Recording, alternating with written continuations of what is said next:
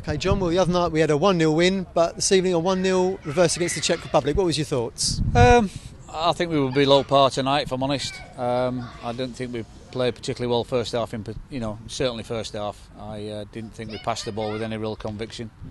Uh, didn't pass it with any real quality, I think, and the tempo was a bit slower. Um, but credit to the Czechs. I mean, they've really worked hard tonight, and uh, they've, they've given everything. And you know, unfortunately, we uh, just didn't quite get maybe the point that I don't think we quite deserved, and credit to the Czechs for getting the result.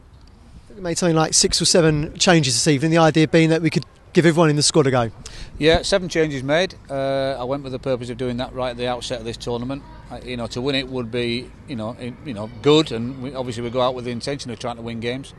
But the biggest thing is to make sure that everybody gets a, a fair um, part to play in the tournament, and that means getting a start and uh, we've done that tonight. Um, I thought that would have been enough to obviously you know get the result against the Czechs, but it isn't. But um, as far as I'm concerned, it, it, the the tournament does what it is intended to do, which is learn a lot more about the players and a lot more about the team generally.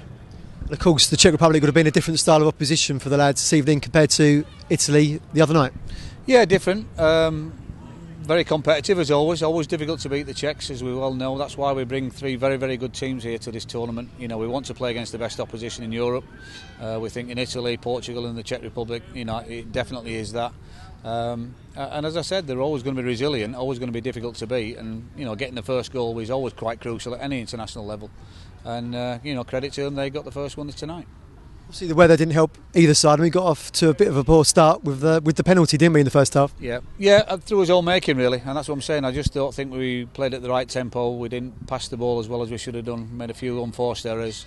A lot of the uh, mistakes we made in the first half was down to ourselves. So I don't think we've any complaints tonight, and uh, we just got to pick pick ourselves up and um, hopefully play a lot better on Sunday. Second half saw Devante Cole and Akpom come on. Um, do you think they gave us a bit more pace and direction up front? Yeah, I think so. Um, you know, it wasn't done intentionally. We had a, an injury to, to Ben Pearson, you know, slight little um, injury with him, so we had to change things anyway at half time. It wasn't my intention to probably do both of them at half time. Um, but yeah, as I said, it was just a chance of giving everybody a fair chance tonight to show what they can do. Um, so, you know, changes are always going to be made in the, in, in the game.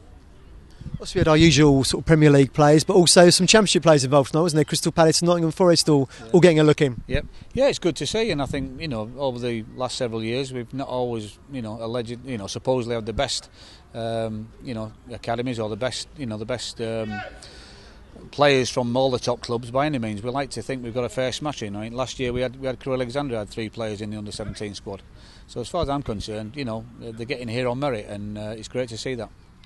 Uh, there's been a lot of national headlines about Cleverly making it into the England squad, and we had two United youngsters in there as well this evening.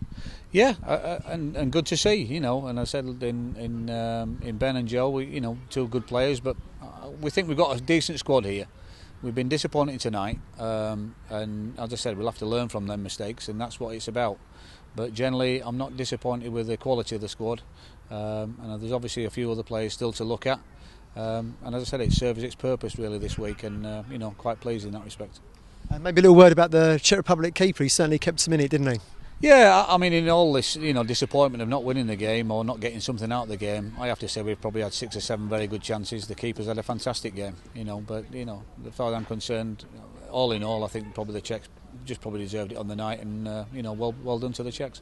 So, just looking ahead to the final game against Portugal at Sixfields Stadium in Northampton, um, More changes ahead of that game?